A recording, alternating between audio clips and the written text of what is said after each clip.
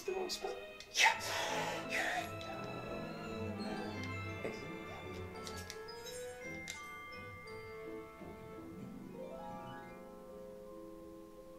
Well, technically, I'll start back over at first level.